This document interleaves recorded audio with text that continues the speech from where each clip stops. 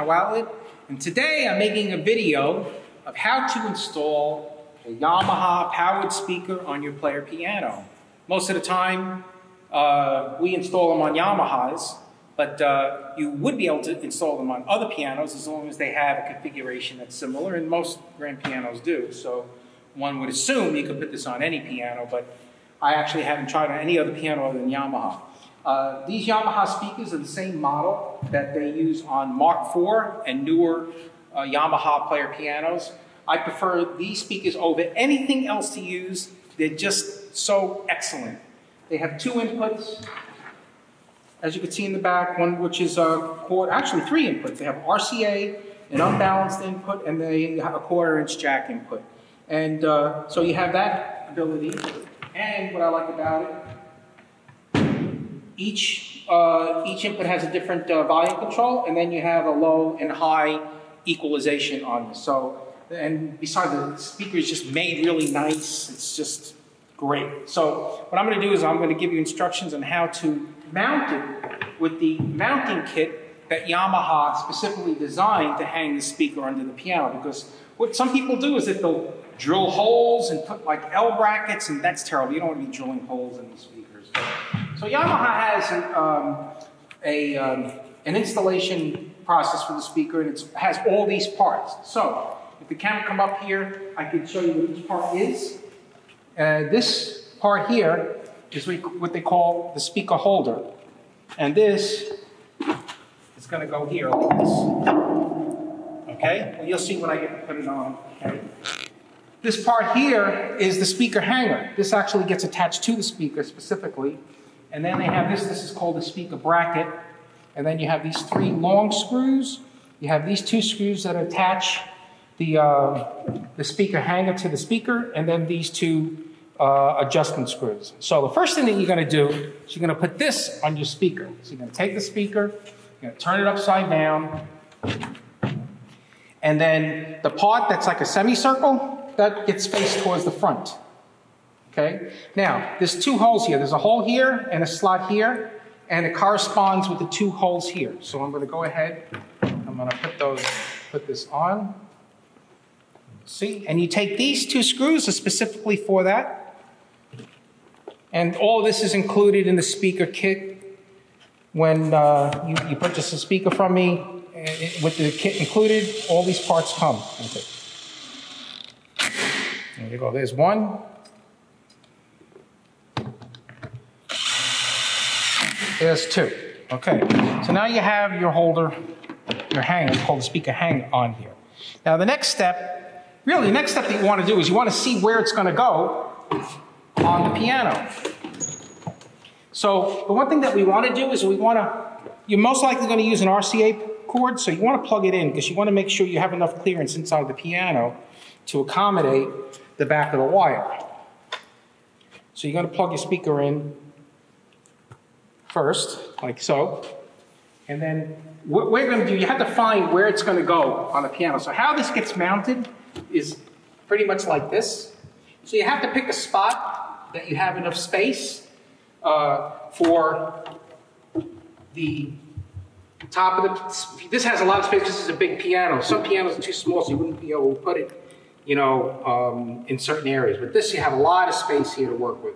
So this is basically where the speaker is going to go, okay, in this area here. What you want to make sure is that the RCA cable doesn't hit any of the, the, um, the ribs in the soundboard. So you want to make sure it's clear of that. So that's why I always make sure that the wire is in here before I do it. And then also you have an on-off switch. You want to mount the speaker, make sure you turn the power switch on. Otherwise you're not going to know if it's on or off once you mount it. Okay, so that's where it's going to go. Going to set this here. and then we're going to get our mounting pieces here. Okay. So, this is going to go here. Okay. Now, you'll notice that you have three holes. You have three holes on this. So what's going to happen is it's going to go in this configuration. This is going to go here. This is going to go on the other side. And then you're going to take these long screws. I like to do the the single one first. So take the, the screw, put it through. And the, um, the bracket here is threaded. So you'll be able to just tighten it up. Okay, don't tighten it too much. Okay, then you got to take the other screw, go into the other hole, and then the other screw goes into the last right here. There you go. And I'm going to tighten these up.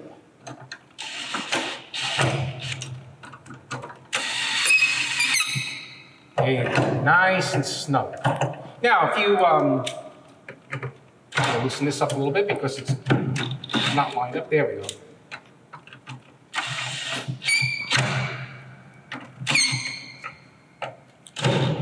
Now, this is nice and snug. If you wanted to move it back and forth, you just loosen these and then you can move it up this way, a little more, a little back down this way, but this should be the right place for it. Now, what you want to see, and if the camera will come over here, you have hooks over here. Underneath this, this bracket, there's hooks. If the camera will come up and show. Do you see the hooks? Okay. So there's hooks over here. You get a hook.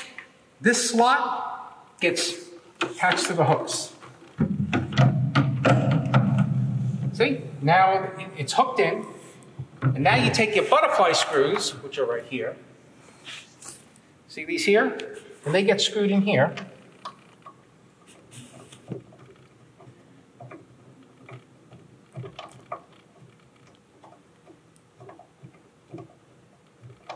Lots of turns, obviously. okay, I'm going to get the other one. it's amazing just how many parts are involved with this. I mean, you would think that mounting a speaker would be something that's, you know, pretty straightforward and simple. but, uh, and it is pretty much, but it, it does seem like it's a little more overly complicated than it needs to be, but it happens to be the best way to mount this speaker. And this is the best sounding speaker for any player piano right here. And you really only need one. A lot of people say, well, should I have two? Well, you know, you're never going to really have the piano playing that loud in your house because it's mostly going to be at a low volume, nice and sweet sounding. So if you want to have a glass of wine with your sweetheart or whatever, or talk on the phone, uh, the piano's not being obnoxiously loud. But anyway, as you can see, there it is. And it's not going anywhere. And uh, the wire is already plugged in. Here's your power cord. Just plug it into your power strip. Because so when we send our pianos out, we usually have a power strip down there. And then this will go to uh, the control box that has the background music for your piano. So anyway, I hope you enjoyed this video, and this how-to video, how to install the speaker and speaker mounting kit. Thank you very much for watching. And any more questions, feel free to give me a call. Russell, Piano Outlet, 954-803-3319. Thank you.